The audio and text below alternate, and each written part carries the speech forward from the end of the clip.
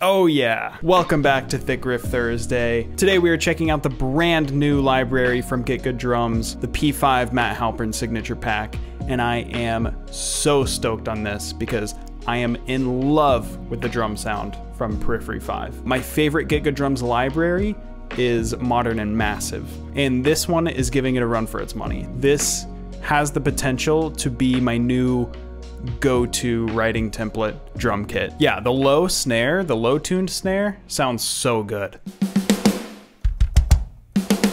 I mean, these shells, the the reason Modern and Massive was my favorite library is because the shells were so perfect. And these shells are just as good, if not better, and there are so many more selections for cymbals. You've got two nice crashes here, and you've got two different crashes to select from. And you've got a crash ride over here. And you've got this nasty bell. I mean, this bell is offensive. I am going to abuse that. And you've got a nice splash over here on the left. I love high splashes. Got a huge china over here on the right. And then a nice loose but still like the the perfect balance between loose and tight. This stack over here. So I've already mixed this kit. Um, it sounds really good out of the box, but with Get Good libraries, I like to do Kontakt's multi-out option. That way I can just like mix it exactly how I want. I can run you through the processing later. Uh, I don't want to take up too much time doing that right now, but it's a really minimal mix. No more than three plugins on a track. Got to keep it simple for the writing template. But without further ado, let's write a riff. So I do have a riff in mind. It's kind of like.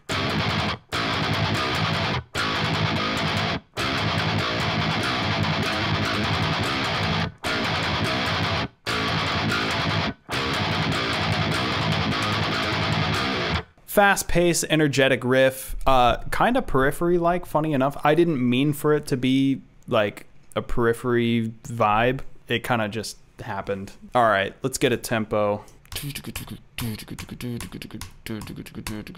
Like 144.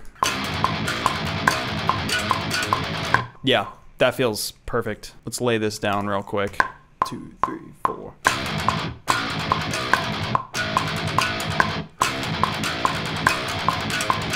I kind of want a second ending to that. Like second time around, I, I don't want that to be exactly the same. Maybe like a...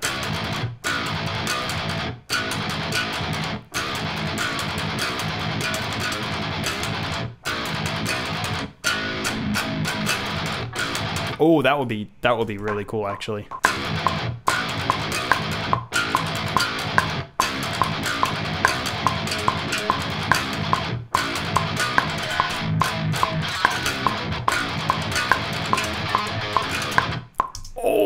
Sick. I was like totally improvising there at the end, but let me try to iron that out a little bit. By the way, if you guys want to download these Archetype Nolly presets, go to architecttigerstudios.com and you can also contact me about my mixing, mastering, and producing services. The link is in the description. That's awesome.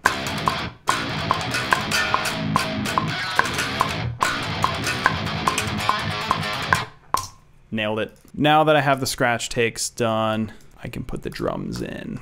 I don't have the mapping set up for the P5 kit over here on my pads yet. These are not at all what I want them to be, so I'm just gonna play it on the keyboard.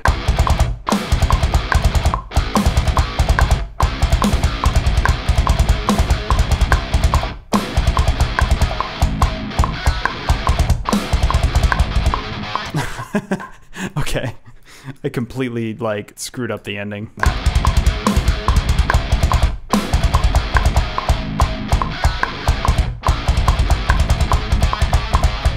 Okay, I didn't I didn't get the snares in there. I can just copy and paste those in, I guess. Let's not do kicks and snares at the same time. We're adults. Just go ahead and glue those together because I'm gonna do cymbals for the whole thing. Okay, now I definitely want the stack. Where's the stack? There it is.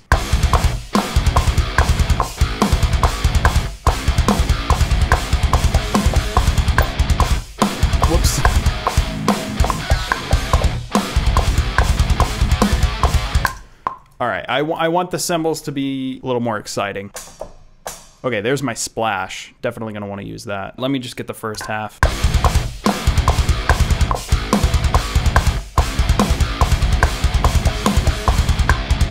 Okay, cool. There's the first half.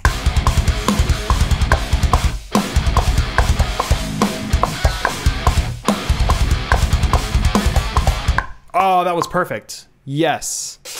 That was perfect with those splashes at the end. Right there, I could hit the China. There we go. I think that would be cool.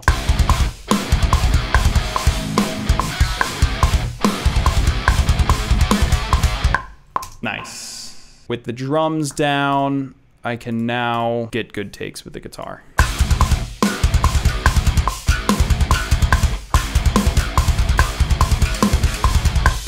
That was really good, actually. Got to do that all down pick to make it like nice and tight.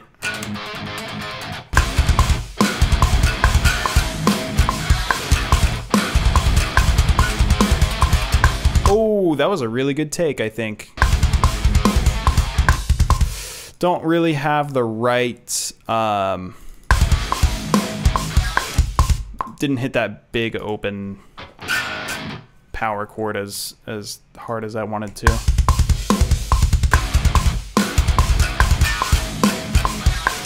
Oh, that was good.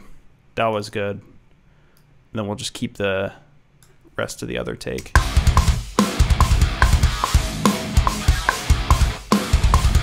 I kind of only hit the...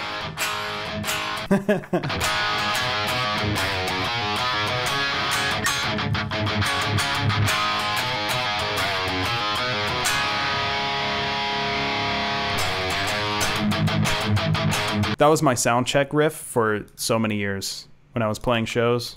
That was the only riff I would play for sound check. That and Limelight. That would get the old guys in the back with the beers and the denim vests. That would, that would get those guys going before I hit them with some nasty breakdowns. All right.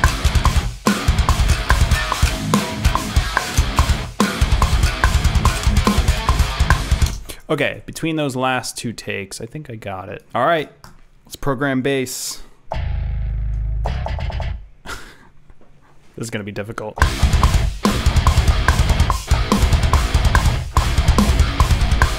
That's that's so hard. Okay, let me move the microphone out of the way.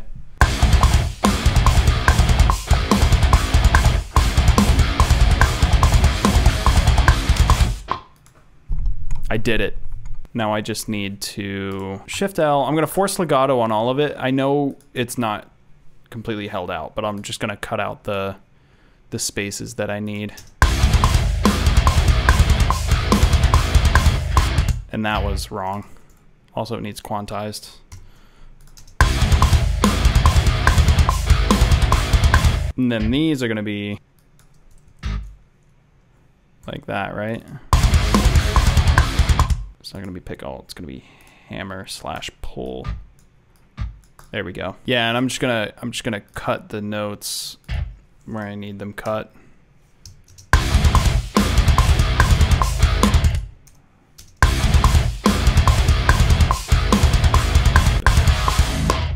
Bum bum bum.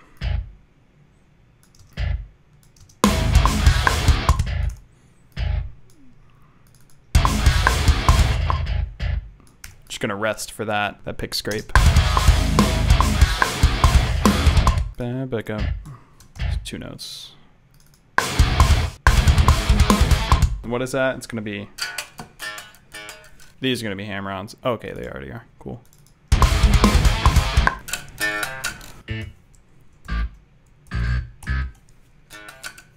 There we go. Nice. After that, I'm feeling kind of just like a nasty breakdown.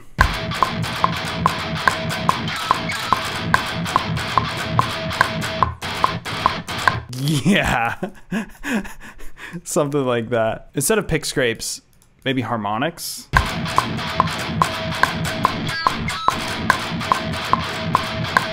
Yeah, yeah, yeah, yeah, yeah, yeah, yeah, yeah, yeah. Hey, if you guys are interested in watching extended edits of Thick Riff Thursday episodes and even downloading the mixed stems from the Thick Riff Thursday riffs, please consider clicking that join button down below and checking out the membership tiers I've made available. All right, back to the video.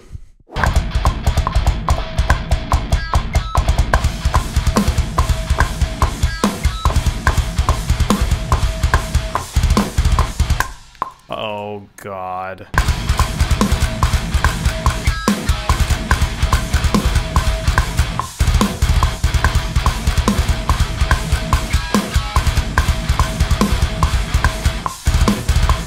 For those last, that little triplet tail end, do all those on the snare. Let's let's catch that china too.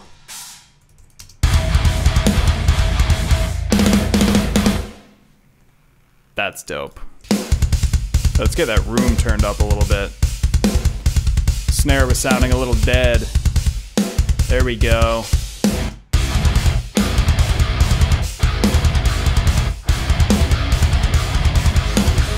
All right, I think we need some production guitars in here too, because it's a little bit empty. That paired with a little bit of Valhalla would be nice.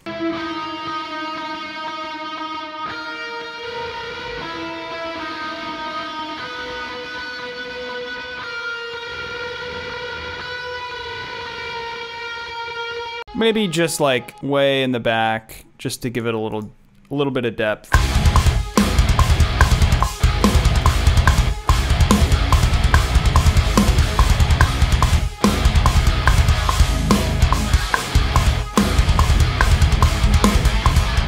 All right, now that we have the riffs, let's spice up the drums a little bit. We got to spice up the drums. That's why we're here. That's why we're here. I want that to be a snare hit.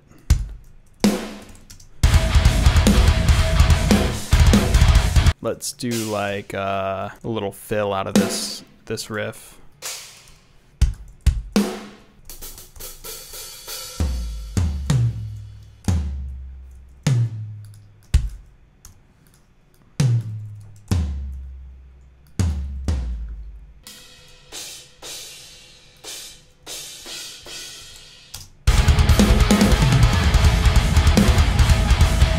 Okay, now we can't do the double crash there. that would be impossible. Obviously, we got to do a drum fill into the riff too. Let me think of something. That's it. I might be able to play it in actually. Two, three, four. Oh, I actually almost got it. Or no, I did get it. I was just a little late. But with the power of quantization, it's perfect. Oh man, I'm actually so impressed that I got that. Okay, and then I want there to be a splash right on that first kick. You know, I love the splash. There it is. And then these last two kicks. First one splash. Actually, no, first one ride. The bell. And then the second one splash. So it's like Oh, that's gross. I need the I need the overheads to be a little louder, maybe a little brighter cuz it's kind of underwhelming when those crashes hit at the beginning.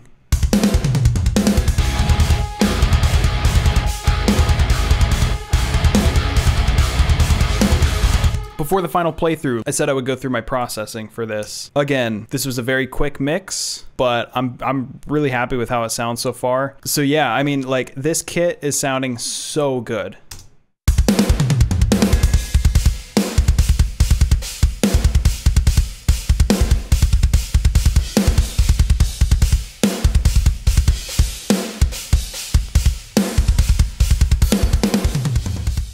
First off, on my um, on my drum bus, this is what I've got going on.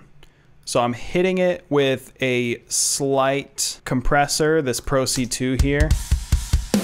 Really not doing anything crazy, like, like maybe a dB of gain reduction um, coming from the Pro C2. Then I've got uh, some Slate stuff. I've got this virtual mix bus plug-in on there, and I've got this um, compressor, the Monster, which is running in parallel, but it does so much. I have I have this. I mean, it's very. This is pretty much my processing for the Modern and Massive uh, library too. But yeah, this is doing so much of the heavy lifting. Listen to the listen to the AB when I when I turn this uh, parallel compression off.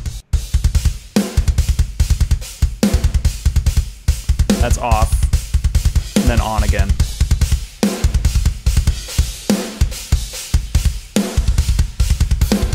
And lastly, some slight EQ moves. Nothing crazy, like less than a dB there, 1.4 dBs up there. Nothing crazy. And then the kick, I've got, you know, scooped like crazy. That's what you're supposed to do in metal, right? Snare. So this is um, coming from Kontakt. This is the snare top and bottom. I'm processing them uh, at the same time. So I've got some EQ going on, uh, some Pro C2. Uh, EQ, I'm just like, I'm just cutting out the low, uh, you know, the sub information that may be coming through.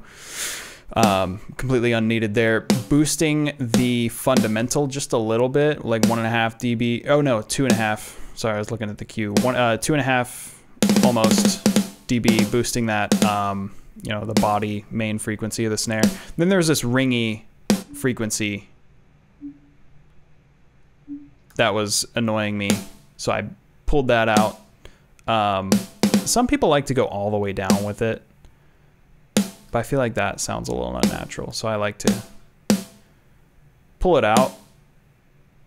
I mean, the ringiness is still part of the characteristic of the snare, you know, so I don't want to like completely get rid of that. Sounds unrealistic. Then just doing a, a pretty wide scoop around 750 and then just getting some of that sparkly top end up there.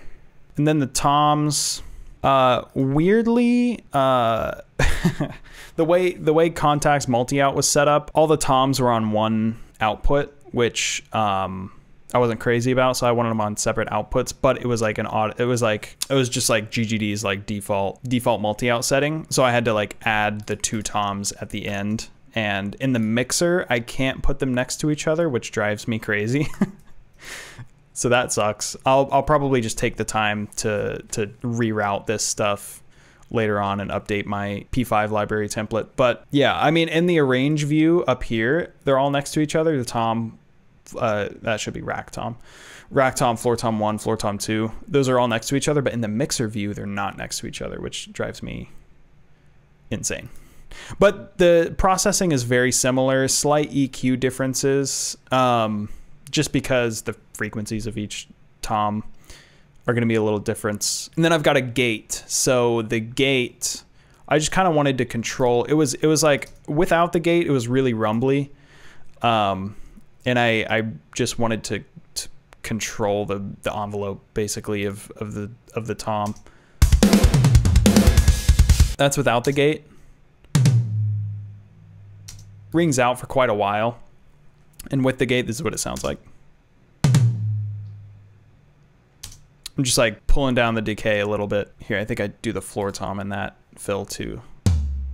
The floor toms had a lot more ring to them. So, yeah, that's what I'm doing with the toms. EQ wise, I'll just go. I'll just show you what I'm doing with the rack tom, and I'm, it's basically the same concept for the two floor toms. But um, yeah, I'm leaving this fundamental frequency alone pretty much, and getting rid of any sub information that's down there. Scooping in the middle, and then boosting that uh, that stick attack, and that's really it nothing too crazy. Again, it's a writing template, so I'm not to go insane with um, with the processing. Oh, you know what? Going back to the kick drum, I didn't show you what I was doing with Saturn. I've got Saturn on the kick. So I like I like the clean tube setting and the warm tape. So on the on the on the high end of Saturn, that's what the high end sounds like with the clean tube setting on it, and I'm kind of cranking the drive.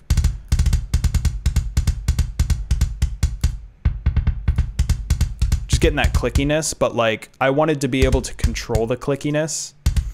I don't love my kick to have so much click coming through.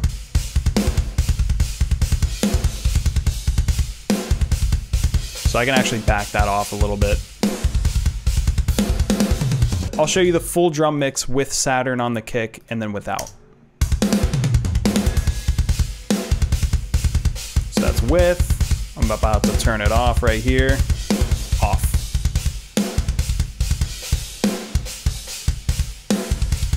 Just a little bit, just a little bit underwhelming.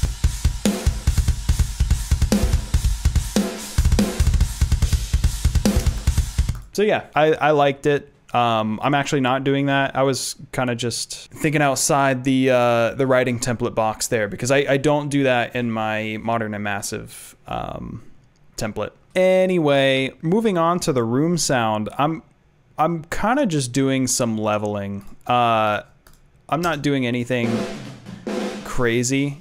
Most of the room, the purpose of the room for me is the snare. Like the snare and the and the overhead have the overhead and the room mics have such a huge influence on the way the snare sounds. Like the close mic almost doesn't matter. As as long as the close mic sounds decent and you're getting that top end and that bottom end, your snare is going to be filled out if you've got the overheads and the rooms uh, at least just balanced out and not doing anything obnoxious. But within Get Good Drums in Kontakt, oh, whoops, that is Grove Bass. Um, NGGD within Kontakt, I do have the snare room turned up like a lot. And, you know, that wouldn't be really, that, that wouldn't really be possible if, um, you know, you were mixing live drums because yeah, you can only really do that with samples. Um, so that's how uh, in the room channels, I have the snare so loud. For the overhead processing, I'm just like cutting out all that low end. I made it a little brighter earlier. Um, and then just slightly compressing to get to get that snare under control on the overhead. And it's it's possibly getting a little bit more sustain out of the cymbals. I think really the the hi hat, splash, ride, and crash ride. I didn't do anything to. I really just leveled it out. I I just got the levels to where I thought it sounded good, and I just let it go. Again, I don't want this to be very CPU heavy, so that is the drum mix in a nutshell, and time for a final listen through.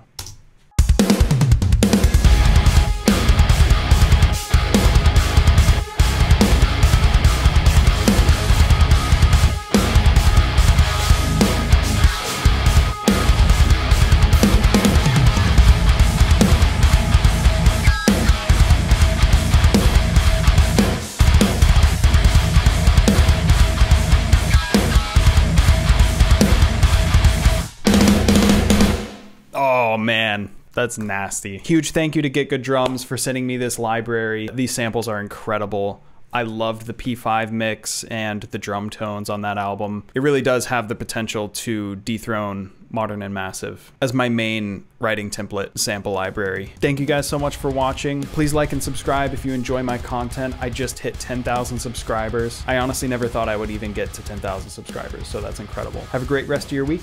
I'll see you guys next time. Peace.